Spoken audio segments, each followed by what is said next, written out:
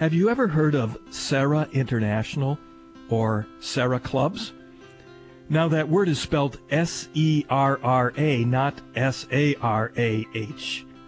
It's not a female first name, but the last name of today's saint, Junipero Serra, the Spanish Franciscan who became one of the greatest missionaries in history.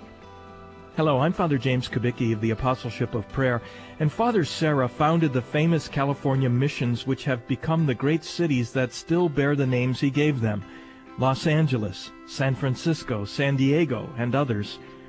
So, what are these clubs that are named after him?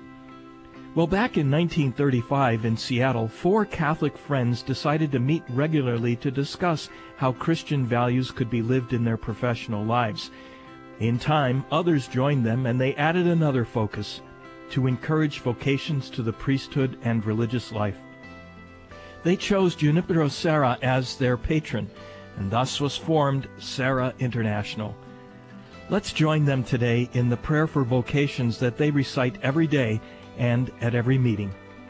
O God, who wills not the death of a sinner, but rather that he be converted and live, Grant, we beseech you, through the intercession of the Blessed Mary, ever Virgin, Saint Joseph, her spouse, Blessed Junipero Serra, and all the saints, an increase of laborers for your church, fellow laborers with Christ, to spend and consume themselves for souls.